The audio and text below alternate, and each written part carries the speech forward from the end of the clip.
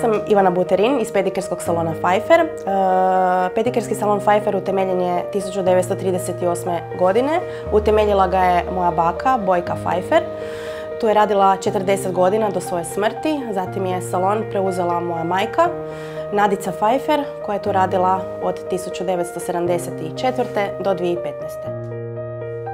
U našem salonu uglavnom se bavimo pedikurom i manikurom. E, naši korisnici usluga e, su naše stare mušterije koje dolaze i dugi niz godina, koji su dolazili čak i kod moje bake. E, isto tako imamo puno novih korisnika usluge.